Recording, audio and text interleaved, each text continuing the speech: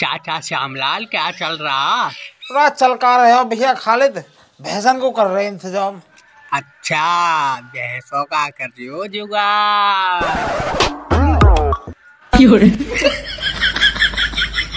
चाचा इधर कुछ और बन रहा देखे। चाचा यहाँ में बन रहा शाही पनीर। खाओगे तुम भी? खाने को कहा भैया?